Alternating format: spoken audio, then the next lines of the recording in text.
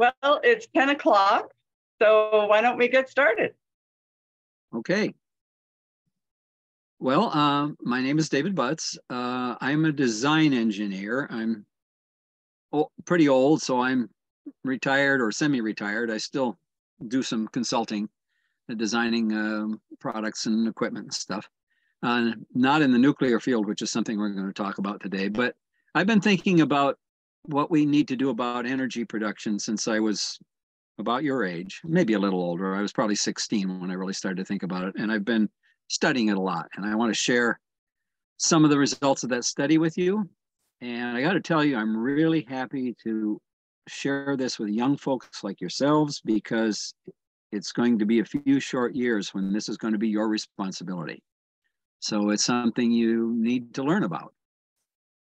And why don't we dive into it? I'll share my screen and let's see if I get it here. Are you seeing it? Yes. Okay, I'll go into slideshow. Hang on here. Slideshow from the beginning. Okay, are we in good shape? Yes. Excellent. I need to reduce myself on the screen here a little bit. There we go. Okay. So here we are on our precious planet living in this paper thin atmosphere. And in that paper thin atmosphere, we enjoy the benefits of modern technology, which gives us the ability to travel. It gives us light and all kinds of comfort and all kinds of convenience modern medicine, all the things that we enjoy in advanced societies. But we pay a high price for that energy by burning a lot of fossil fuel, now producing over 30 billion tons of CO2 per year. Some say it's as high as 40 already. And people are worried about putting that much CO2 into the atmosphere. To many, this is just plain pollution. Uh, I won't argue the, the case today. Uh, some people disagree about how serious this is, but burning as much fossil fuel as we burn, and it's going to get larger in the future, may very well lead to climate change. It'll certainly lead to some global warming. Uh, ocean acidification, which can affect uh, our food chain, and things that we don't even know about. So, what are we going to do about that? Well, a couple of things are on the table all of you, I'm sure, have heard about renewables as an answer to this problem, that we can put up a lot of wind turbines, a lot of solar panels, and this will solve the problem. Others are considering nuclear energy as part of the solution, uh, and many people oppose that. Another pos reasonable position is let's use everything that we can. Uh, by the way, what we're calling renewables today is, as I said, wind and solar technically speaking, wind and solar are not renewables. A crop is renewable, but everybody calls wind and solar renewables. So that's what we'll call them too. Renewables are green. When as they harvest energy from the atmosphere, they don't put out any CO2. And they have wonderful special applications. Here's a wonderful special application for solar. Here, a small solar panel has brought irrigation to a small farm in a third world country for the first time. Before they had those solar panels, they had to carry the water some distance on their heads. Uh, many of you either live in homes or have neighbors who have solar panels on the roof that are supplying a lot of your family electricity, maybe some of your heating, maybe charging your electric car. Wind has been used for centuries to grind grain into flour and to take dry land and turn it into fer fertile, productive agricultural land. And today, we have large solar uh, fields and large turbine farms that are beginning to contribute electricity to our power grids. But renewables have some big problems. The first big problem is material requirement. And if you look at this graph, you can see that the requirements for solar photovoltaic in terms of how much energy is produced are very large for steel and cement and glass and other things. Hydroelectric dams, of course, take a lot of cement. Wind turbines take a lot of cement and steel. And notice that nuclear uh, requires very small amount of material to provide the same amount of energy. As an example of the material used, here you see the beginning of the foundation for a wind turbine. Notice that there's a very deep excavation. We've laid down a little cement pad here, and now we have tons of steel rebar and tons more concrete is going to be poured in there to make sure that this doesn't happen. a lot of material. Then there's another problem. Those wind turbine blades don't last very long. Um, and they you have to do something with them at, at the end of their life. People are trying to learn how to recycle them, but it's not easy because they're fiber fiberglass filled resins that don't you can't just melt down like other recyclables. So you see what's being done here. These large hollow wind turbine blades have been cut into three pieces and they're being buried by, you see the size of the bulldozer there. They're being put into a landfill. Similar problems apply to solar. And this is what happened in Puerto Rico after uh, Hurricane Maria went through in 2017. This is a small part of the solar farm. And now in the soil, you have broken glass, silicon, uh, heavy metals like lead and cadmium mixed in with the soil. And even if the hurricane doesn't hit your solar farm, in a very short period of time, 20 years or less, you're going to have to recycle all of that material. And we also don't have ways of doing that effectively yet. Most of this material is now going into landfills. Another big problem for wind and solar is the demands on land. You can see this little green square down here. It says nuclear one square mile. Well, that's true for any fueled plant. If it's coal, oil, gas, or nuclear, you can have a very compact plant producing a lot of energy. Here I'm talking about a gigawatt average, that's a billion watts, uh, on a small piece of land. But because they are harvesting a very weak stream of energy from the sun and the wind, you need a lot more land to harvest the same amount of energy from solar and wind. Up to 75 square miles from solar, and you'd have to be at the right latitude to do that, and almost 400 square miles sometimes from wind turbines that's a lot of land and that starts affecting the environment. People are cutting down forests to do solar and wind these days. There's another problem with wind and solar, which is that they are not steady. They vary a lot when the sun goes behind the cloud and the wind clouds and the wind dies down. Here's an example of the effect from Germany. They installed a lot of wind and solar. They still are and you see a graph here, and this red line on the top shows the installed capacity. What that means is that if you had a wind turbine that was rated at four megawatts, and you had the wind blowing at exactly the right speed all the time, you'd get four megawatts. But the wind doesn't blow all the time, and it doesn't blow, blow at the right speed all the time. And so what you actually get out of the wind turbines is this dark blue spiky stuff. And that spikiness is a real problem for the, the engineers who have to run the electrical grid because they have to they have to back it up with something else. And in Germany, what they have to back that up with is coal. Here in the United States, what we back up most of our wind and solar with is natural gas. So if your object is to eliminate the burning of fossil fuels, you haven't quite succeeded with wind and solar because that's what we, we use fossil fuels to back them up.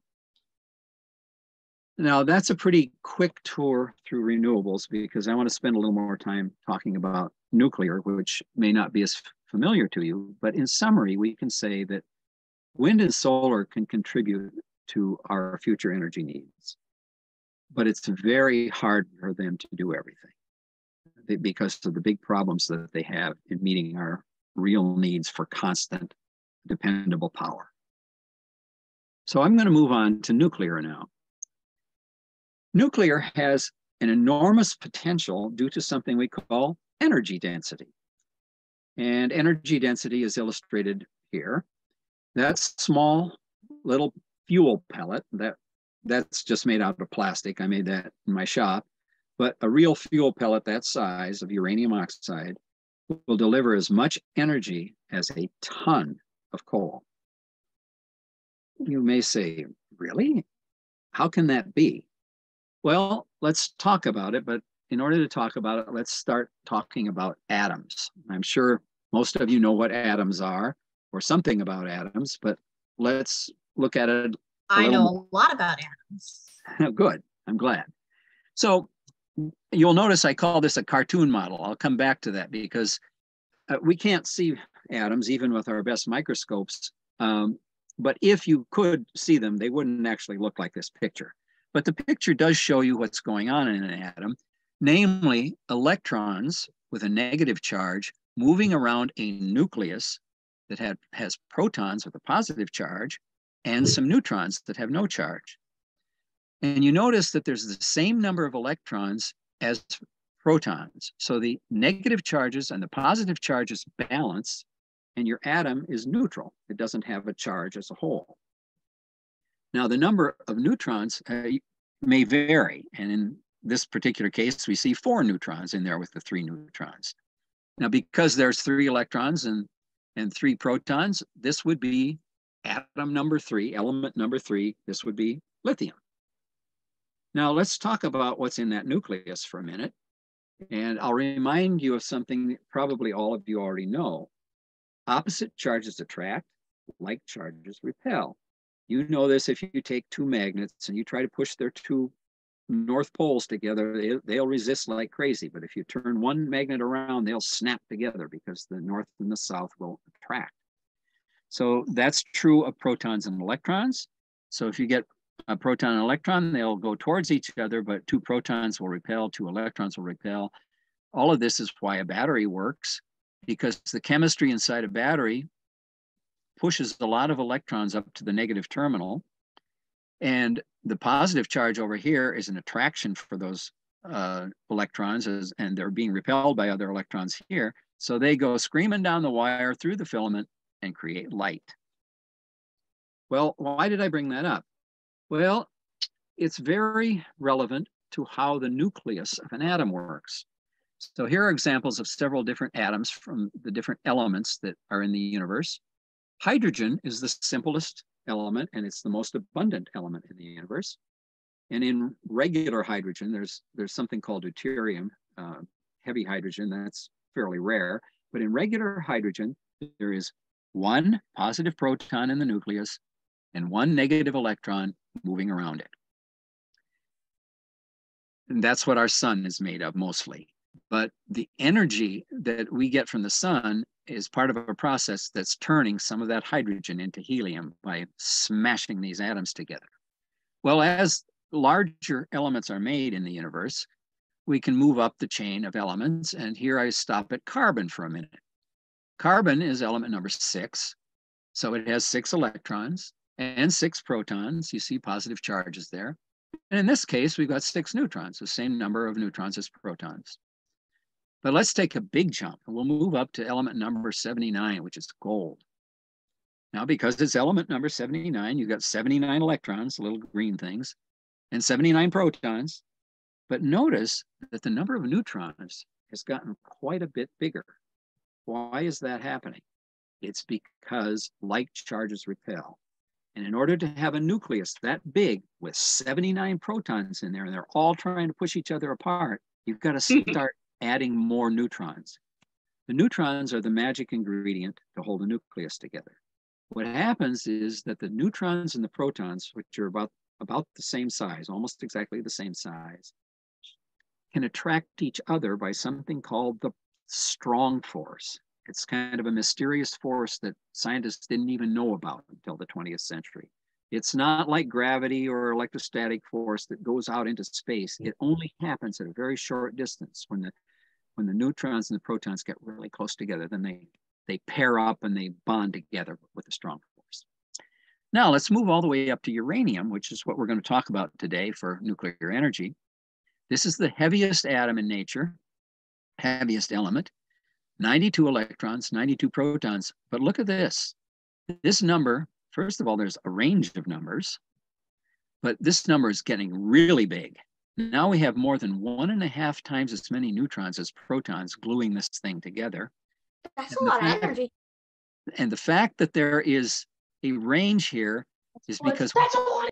we can have different numbers of neutrons in different uranium atoms. So those different versions of uranium are called isotopes. All of them will act the same chemically. That's where the electrons interact with each other. But in terms of nuclear energy, uh, they are different. You see the little jack box up, the jack in the box up there? Well, that represents what's really happening in this nucleus. We now have 92 positively charged protons all pushing against each other. And you can imagine that they've all, they're all on a, on a little uh, pogo stick. They've all got springs pushing against each other. So that means if we tickle that thing in the right way, it's going to split apart. That's how nuclear energy works. Here are two versions of uranium, two uranium isotopes. U-235 and U-238, and we come up with these numbers by just adding the protons to the neutrons. So U-235 has 143 neutrons, U-238 has 146. And this, all of this is important because when we dig uranium out of the ground, the proportion is not equal. In fact, this U-235 is less than 1%. It's less than one hundredth of the uranium that comes out of the ground. But the U-235 is what we want for our nuclear power plants.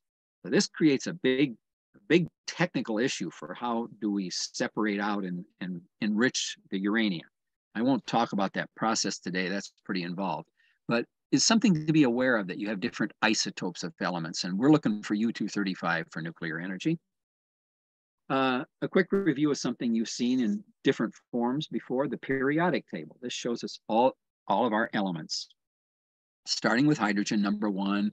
then we go to helium, lithium, beryllium, boron, carbon. There's number six we talked about. Here's gold, 79. The heaviest one in nature, as I said, is uranium, number 92. But now that we have nuclear science, we have been able to create a whole slew of more elements. And the first nine or ten, 10 of them actually are elements that we can use. In fact, your smoke detector has a little of this in it, americium. Most of these up here, however, are only created in big machines called atom smashers, and we've never created enough of these elements to even see them. In some cases, we've only created three or four atoms. Notice that I've labeled lead the heaviest stable element. So between number 82 and 92, every element is unstable. What that means is there's so many protons in there pushing things apart that eventually something is going to radiate away from that. it may take, in many cases, it takes billions of years for that to happen. But they will send out a little alpha particle, which is two protons and two neutrons, or an electron, or a gamma ray, which is like a really high powered X ray. So all of these heavier elements are unstable. But we take advantage of that with uranium to do uh, nuclear fission. Now, I'm going to say one more thing about atoms because I mentioned that this is a cartoon. If, if we really could zoom in on it and see it, it would not look at, at all like this. So I want to share with you a little bit of reality so that you can wrap your heads around what we're really dealing with. How little is the nucleus? If the nucleus of a hydrogen atom were the size of a BB, one eighth inch in diameter, how big could the atom be? Are you ready? as big as a baseball park. So if that were a hydrogen atom, its electron would be running around out here and its proton would be a BB down there in the middle. It's pretty amazing. And physicists didn't understand this uh, until a little bit after the beginning of understanding that there were atoms and there were electrons and there were neutrons, well, that there were protons. It, it took them a while to figure this out.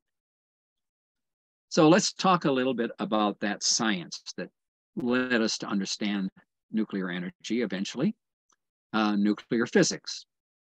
Here are a couple of the pioneers. I could show you dozens of people, but these are a couple of very important pioneers in, in development of nuclear science. Most of you have probably heard of Marie Curie, called Madame Curie. She was actually born Mania Sklodowska. She was Polish by birth, but moved to France. Uh, oh yeah, Mary Curie's. Madame Curie. Very... She coined the term radioactivity. What she and other scientists were discovering around 1900 is that those heavier elements were giving off energy. It was an absolutely amazing discover when it, discovery when it was first discovered. Nobody even imagined that this could be the case. And by the way, uh, Marie Curie is the only person ever to win two Nobel Prizes. She won the Physics Nobel Prize and later she won the Chemistry Nobel Prize. Also, wasn't she the first woman to win a Nobel? Yeah, can, uh, yeah, we can talk about some more detail when I get to questions. I'm going to leave plenty of, of time. She was the first woman to win a Nobel Prize. And uh, since you mentioned that, 40 years later, Lise Meitner was working in Germany and by this time, people had figured out that there was something called a neutron, which they didn't figure out till 1932. And they were firing neutrons at atoms of every kind, carbon and gold and everything, all the way up to uranium. And in the laboratory where Lise Meitner was working, suddenly they had a result that they didn't understand. Instead of getting a more massive atom, they suddenly had two little atoms and they couldn't figure out what was going on. And Lise Meitner figured out what was going on. The atom had split into two pieces. They, she had coined the term nuclear fission. Now, speaking of Nobel Prizes, more than 50 of her colleagues in, in the physics world, mostly men, nominated her again and again and again for both the physics and chemistry Nobel Prize and she never did get it, which is kind of a, an injustice of history. Uh, the next woman to win it was Maria Goeppert Mayer, the physics Nobel. Uh, she did something really remarkable in nuclear physics. She discovered magic numbers, but I'll talk about that some other day. so what's nuclear fission? So what, what did Lise Meitner figure out? Well, they're firing a neutron at a U2, uranium-235 nucleus. Remember, it's got uh, 92 protons, but it's also got 143 neutrons. But they fire it in, it gets absorbed, and it creates a really unstable situation. You have tickled the jack in the box. And very quickly, that thing blows apart into two pieces. And this is what the mystery was at first. It created two smaller elements. It created uh, a atom of krypton and an atom of barium. Now, it doesn't always split into those two. It can split into different combinations, but it always splits into two. And it also always gives out two or three extra neutrons. That's very important to nuclear energy because the nuclear process wouldn't work without those extra neutrons because these neutrons go on and hit another U-235 to give you what you call a chain reaction. Well, what do we get out of this? We get heat what happens is that these particles and these neutrons are flying apart at tremendous speed, up to a tenth of the speed of light. I mean, really, really, really fast. Well, what does speed mean in little particles? It means heat. And you can see this when you boil water on a stove. Just before it starts to boil, you'll see a lot of motion on the surface of the water. And that's because all of the water molecules are moving faster and faster and faster, and they're making things bounce around, including the dust on the surface of the water. So what we're doing is taking all that kinetic energy, so-called, from the speed of these particles and eventually harvesting the heat, just like we do with coal, oil, and gas, to create electricity. Well, who's this guy? I think most of you know. Albert Einstein. Albert Einstein. Right, Albert Einstein. And there's his fa famous formula, E equals mc squared. Energy what, equals mass times speed. Yeah. So what? Energy equals mass for every square of speed of light. Actually, I have that memorized. Yeah, well, good. I'm glad you do. So what he understood, which nobody had understood before, is that energy and matter were two forms of the same thing. They could be converted back and forth. And yes, as you say, you take a little bit of matter and you multiply it by the square of the speed of light. The speed of light multiplied by itself.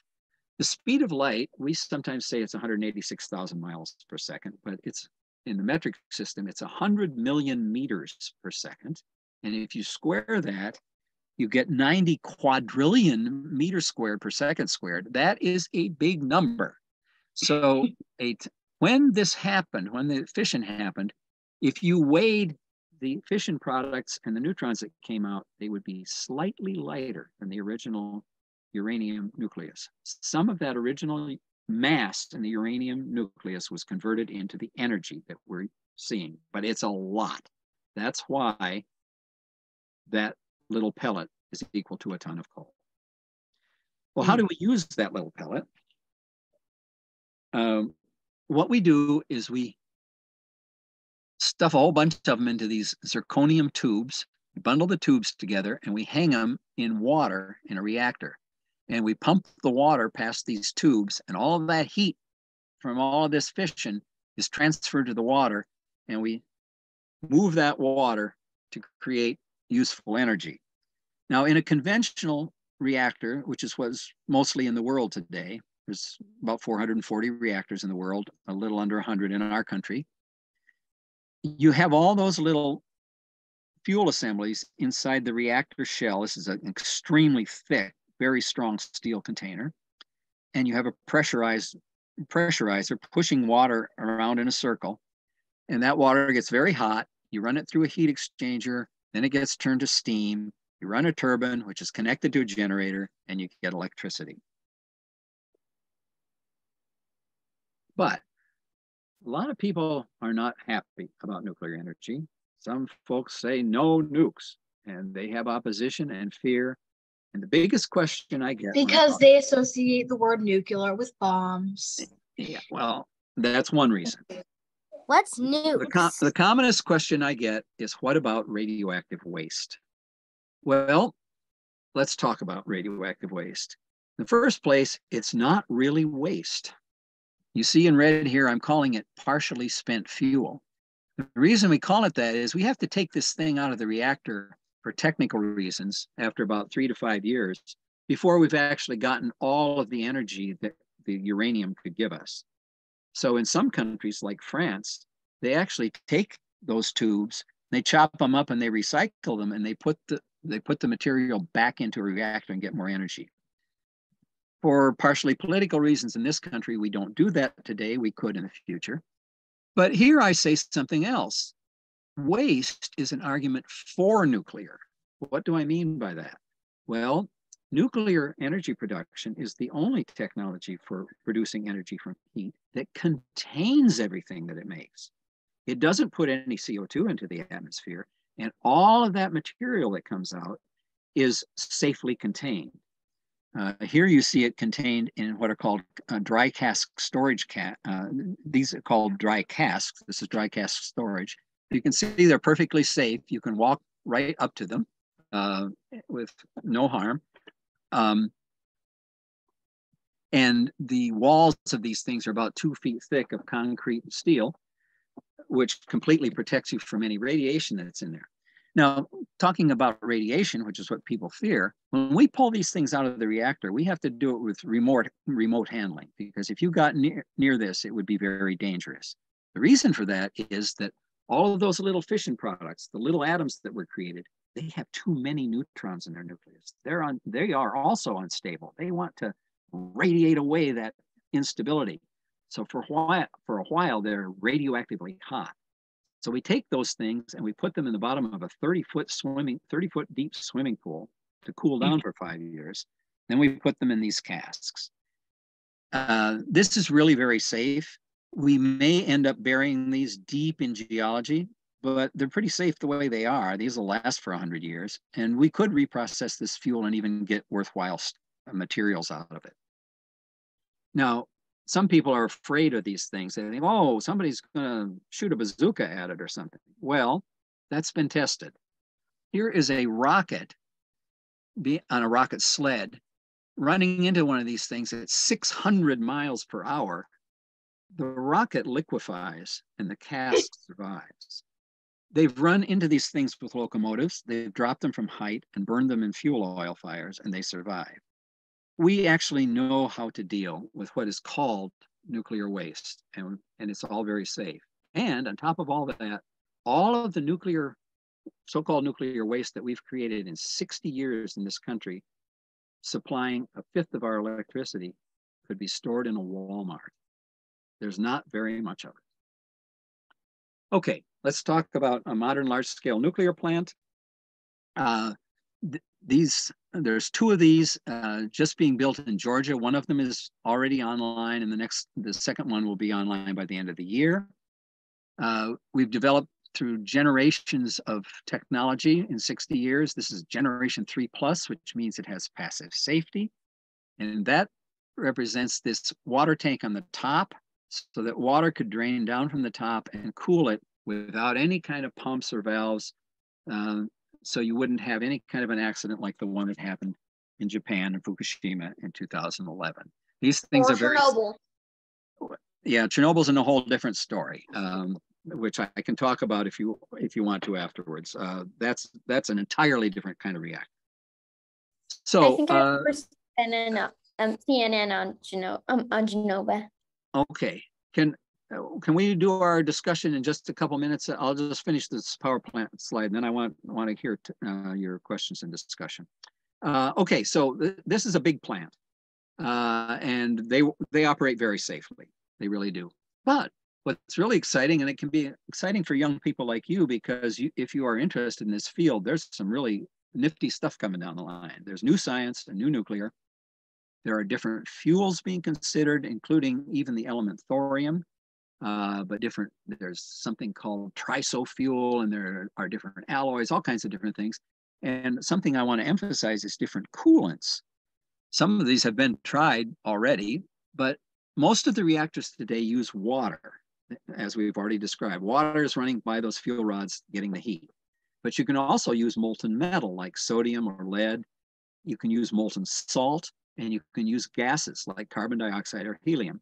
In fact, if you, you use helium, you can get the highest temperatures of all. You can get such high temperatures that you can now maybe uh, get hydrogen from water and create synthetic fuels and do a lot of other exciting things. And finally, we're making them more compact. You'll hear this term SMRs. That means small modular reactors. There's over 80 designs being developed around the world.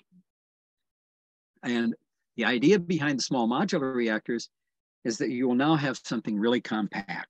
This is also a cartoon, of course, but, but compared to the car, this is a regular nuclear plant. It takes years to build one on site with a lot of cranes and construction and so forth. But the idea of the small modular reactor is you build it in a factory, just like building a big air, airplane, and you put it on a truck or a boat and you take it to where it's needed and you hook it up and away you go. Here's one example of that, a US company, company Thorcon, they're working on doing this in Indonesia. They would build power plants uh, in, on a barge in a shipyard and then moor them in an appropriate place and service them with this thing called a can ship. And they bring in a little reactor that's dropped into a little silo, and that reactor will supply energy for four years without doing anything. And then it needs to be refueled, and you swap over to the one over here, let this cool down, and you uh, take this back for reprocessing. Now, after the bomb, which somebody mentioned, which was the unfortunate first use of nuclear energy, we turned to making power. The first nuclear power went to sea, USS Nautilus submarine in 1954. And we now have a lot of submarines and aircraft carriers powered by nuclear reactors. The Russians are very big in this Let me hear field. this. Here they, they, this is a Right. float, floating power plant. And this has been connected up in Siberia in the north of Russia. This has been con- connected to, it's in, in a, behind a breakwater, connected to a small town called Pevek. And it supplies them all their electricity and all of their heat.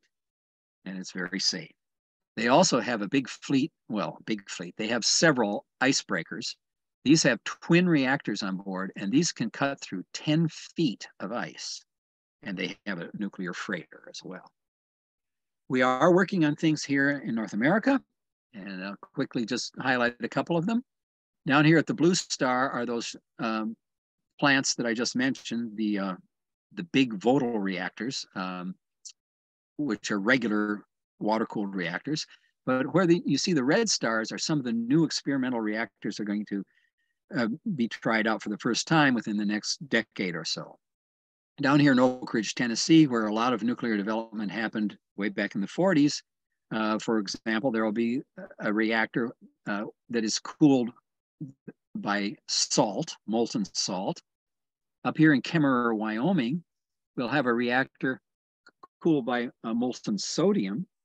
And this reactor will replace a retiring coal plant, which is a really exciting opportunity. So when a coal plant is so old that it needs to be retired, that's a good place to put a new nuclear plant because all the electric lines are already there.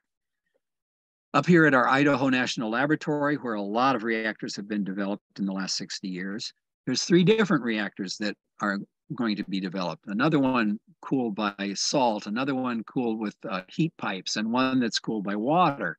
And this one up here in Washington will be cooled by helium. And this one in Canada is a so-called boiling water reactor, but a smaller boiling water reactor. So that's a quick tour of nuclear.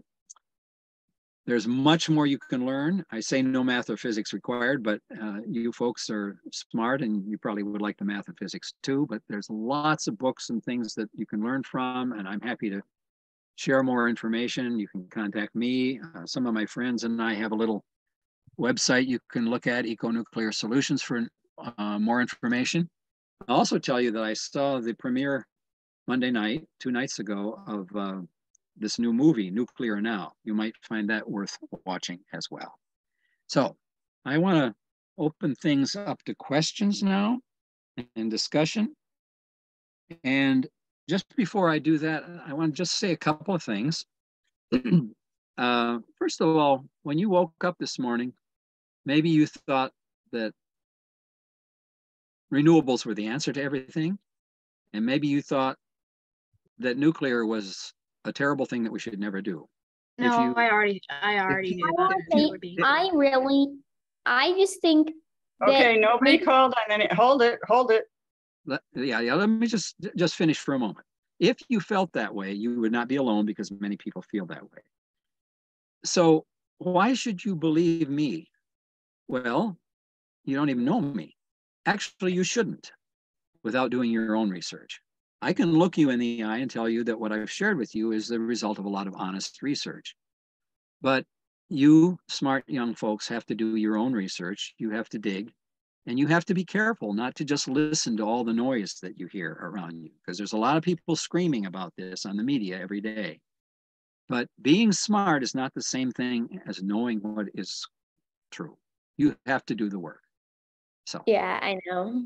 that's one thing. And I'll just say one other thing. For young folks like you who are hearing all the noise about climate change and how dangerous it is and how everything is going to go crazy and if we don't do something quick, many of you, this is a source of a lot of fear. That's very natural. Back up a little bit from that fear. There's a difference between urgency and panic. It's important to face these realities with a sense of urgency. But if we panic, if we react with fear, it's very likely we'll do the wrong thing and delay the right answers. So that's enough from me. Do anybody have, does anybody have a question? Let me take the questions, please. We'll do them. All right, all right, Uh. We're gonna do them according to hands that are raised and I'll try and get you all in as much as possible. So Okay. Simeon, I see you in the first. Okay, um, Hey, how are like nuclear meltdowns even caused? Uh, I'm sorry, what was the question exactly? How are nuclear meltdowns caused in like power plants? Okay, well, first of all, they are very rare. So uh, I'll talk about, there's been three in almost 70 years. Uh, and you probably know about all of them. Uh, Three Mile Island was the first one that happened here in Pennsylvania. Then we had Chernobyl, which one of you mentioned. And then we had Fukushima in Japan. Three Mile Island was basically operator error and plant design. The operators weren't well trained. There were too many dials and bells and whistles in the control room, and they didn't understand what was actually going on, uh, and they they went the wrong way about the water supply. So it was actually human error and bad training, and it is said that if they locked the doors to the control room, the automatic system would systems would have avoided that accident. As a result of examining that accident in detail, everything changed. And now the operators have to be thoroughly trained and and the operating rooms make sense and they know what's going on at all times. That kind of accident will never happen again. Chernobyl is the only one of the three accidents that actually harmed and killed people from radiation. And that happened because you had a very poorly designed reactor that was partly meant for making nuclear weapons material being recklessly run and it had no containment structure. So they had not, no way of containing the radioactive material that was emitted afterwards. And it was a pretty complicated case. It was actually a, a, if you can believe it, a safety test. They were deliberately turning the power way down to see if the inertia in the in the generators would keep emergency power going. And they went too low, and and some bad situations happened within the, the water supply and the moderator within that reactor. It gets into pretty complicated physics. But these meltdowns are very uncommon.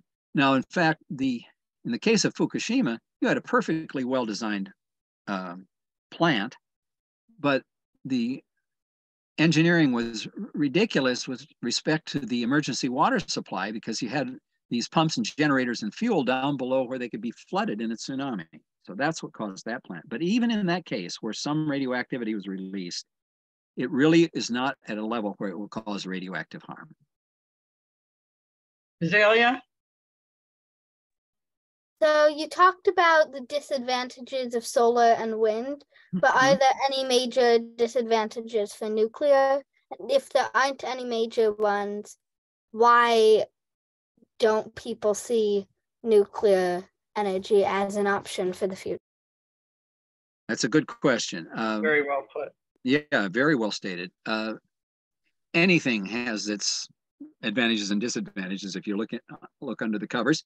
Um, well, the biggest issue with nuclear, of course, is dealing with radioactivity. You have to design things in such a way that you don't expose people, the operators, or the public to the radioactivity. But I will say that that's not, in terms of engineering, a very big downside because we know how to do this. We've really learned a tremendous amount. And some of these future things that I mentioned briefly are going to be even safer. For example, a molten salt reactor can't melt down. It actually operates in a melting state. And if you had a leak, the material would solidify. It wouldn't go into the atmosphere, it would actually freeze. So th- that's the first part of your question. That's the, the thing that you have to deal with with nuclear is radioactivity.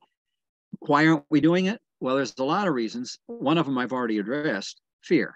There's a lot of public fear of nuclear, and that is partly because we conflate it with nuclear weapons, partly because we don't really understand what it is. And that has a secondary issue associated with it, which is that fear is embedded into our regulatory bodies. In this country, we have the Nuclear Regulatory Commission, and they stand in the way of quickly adopting new nuclear. So there's a lot of issues between now and when we can get some of these things online. Danny? Yeah, what I think they should do, this is a real question, more of opinion. What I think they should do, they should put this stuff, build this stuff as far away from like society as possible, so that if there's a meltdown, nothing bad happens. But like they should also have like offsite operation, like back here in America, and probably in these like maintenance drones and stuff, so that nobody actually has to go there and potentially die. And yeah, Yeah, okay. Uh, that Well, is cer- it would also certainly, feel better because it's far away, and if it explodes, there's like, oh, nothing's gonna happen to us. It's well, it's certainly something to consider. People have considered that, including floating plants that are offshore. Uh, let, let me immediately pick up on that last word that I heard from you, which is explode. These things never explode. I mean, I, Oh. that- that- there was an explode. There have been explosions at Chernobyl, for instance, but it was not actually a nuclear explosion. There were two explosions at Chernobyl. There was a steam explosion and a hydrogen explosion. And the reason I'm raising that is that a lot of people think that a nuclear plant is, is a potential nuclear bomb. It, it isn't. It can't be. It's physically impossible because the enrichment of the uranium is so low. It's down around 5%, and you need 90 for a, a bomb. Um, but in answer to your question about putting them far away, they really are very safe when well designed. And when you take them far away, then you have the added cost of the power lines to get the power where you need. I it. know, but like the value of a human life is worth more than Well, yeah, Yes, but but when the- you talk, yeah. statistically, it almost never happens. Okay, that's- please don't interrupt.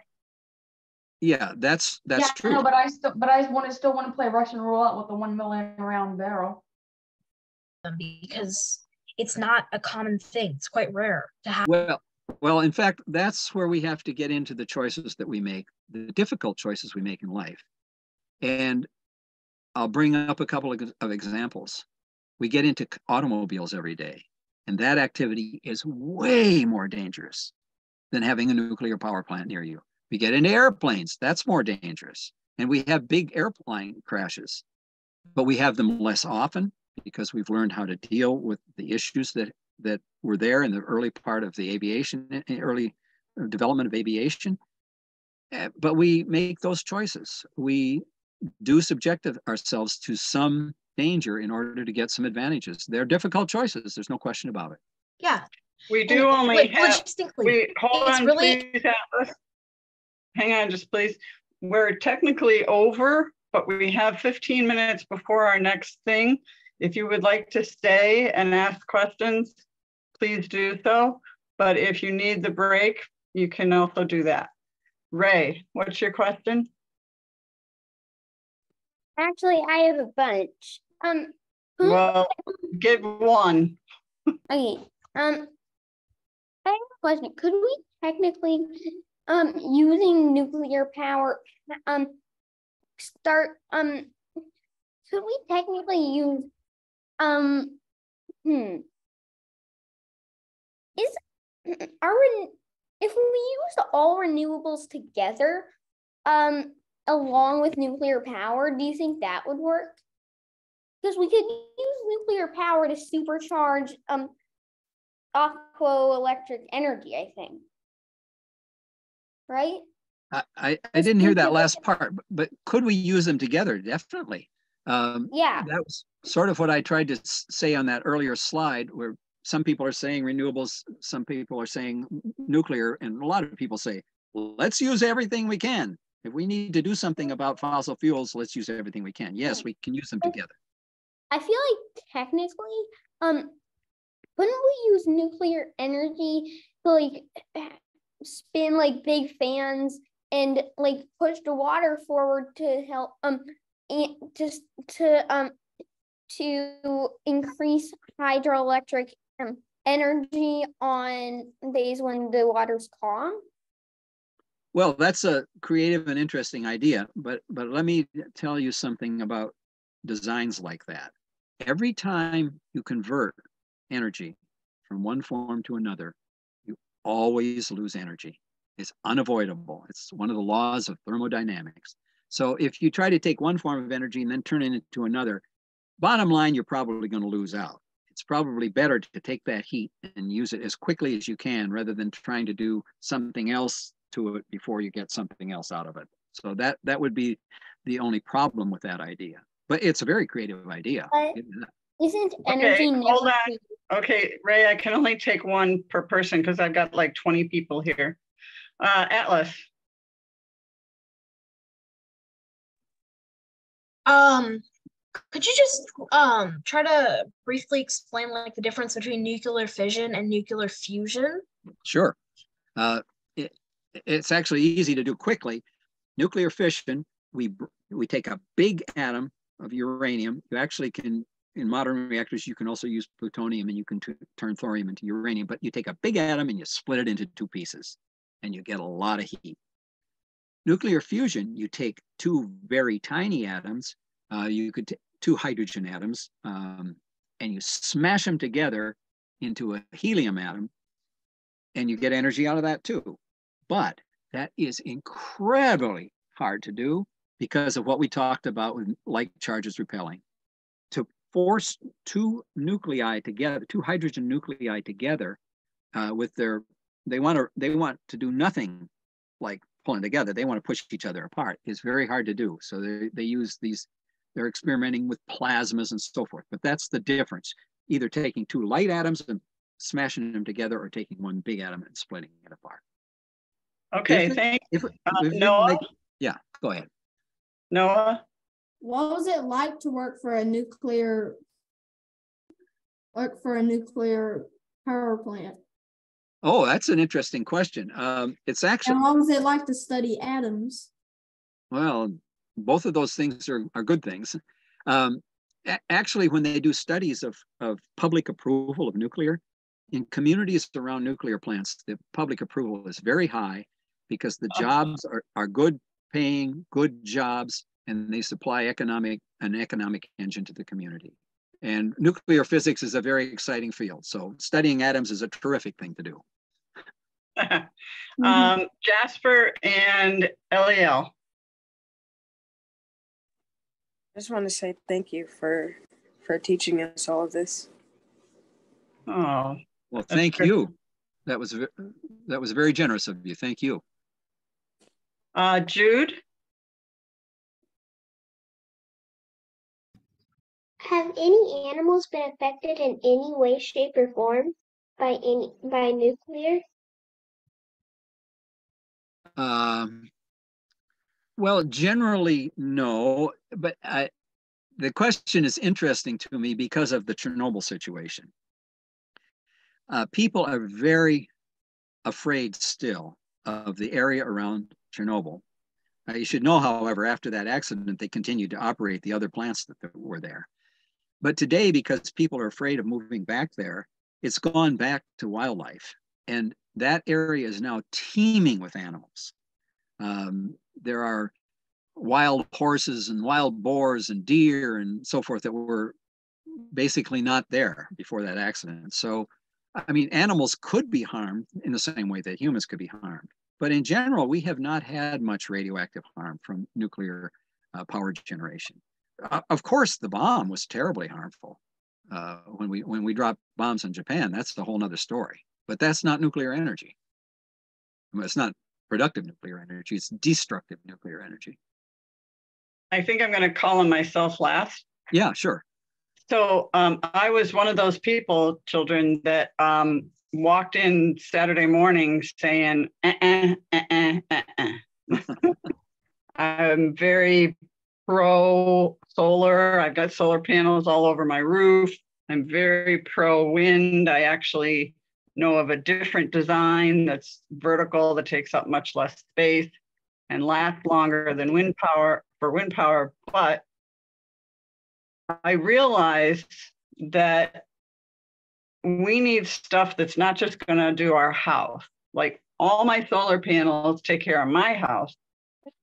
But what about big factories and big cities? Is New York City, is every house going to have solar panels on top?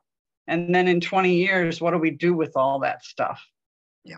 So, because this is now gotten down to a thing about that big, is the main deal. And because it has become very, very safe, and uh, Dr. Butz told me, like, for example, in Pennsylvania at Three Mile Island, people were actually able to be very close to that and they did were not harmed. So yes, we did a horrible, horrible thing. My father actually was there after the bomb was dropped at Hiroshima. It was a horrible thing that human beings did out of ignorance, but we're not ignorant anymore. So I hope that you wouldn't let one fearful example cause you to say, I'm never going to use that tool. So if I use a candle and it catches fire to my bed and that catches fire to my house and burns down my house, am I never going to use a candle again? Good example. And that's how I sort of think of this. And I see I have one more hand up. It is break time.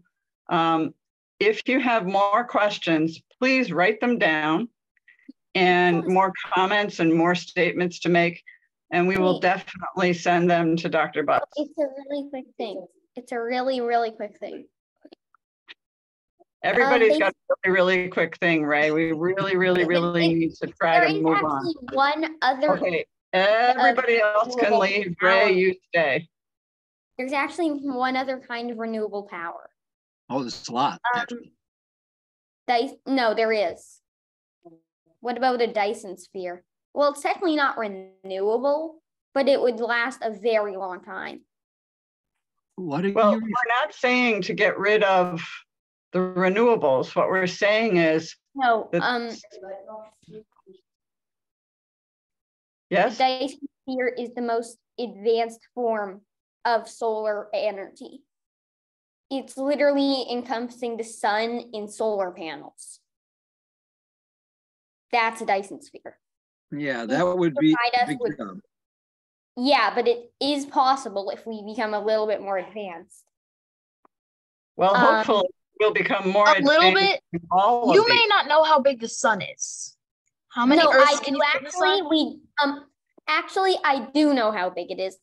That would but take I thousands also of years. know the possible. I also know that um that if we got that um and also, if we block Yeah. the sun, then how would we like get no we like wouldn't block it. Would- Oh, it would we wouldn't block it. It would be a David, remember what I told you on Yeah, Saturday? okay.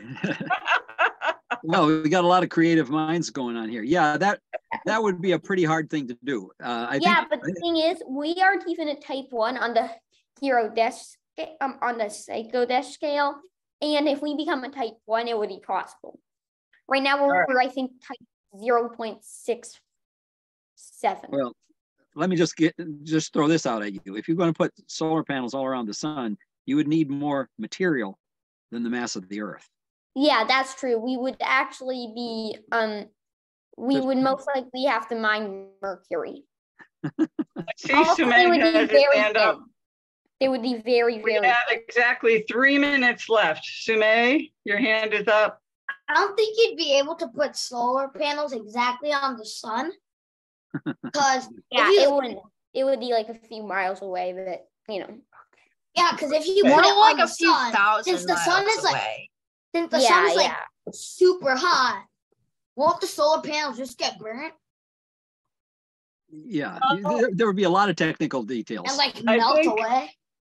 I think that's a discussion for another day. And, you know, really, I mean, we have Dr. Butz's email. And if you want to say, you can videotape it, you can write it down, you can send it by carrier pigeon. We will get him your questions and your comments, and he will answer you. He's a really nice guy. I'll answer you, and I'll come again and talk to you again next year if you want. that would be great. Okay, I'm not saying that we should get rid of renewables at all. I'm just saying that um, I'm now more open to this possibility because it seems like it's a whole lot safer than it used to be. Thank you very, very much. Can everybody uh, unmute and give a round of applause? Let's hear it. Thank you. It was a delight to talk to you.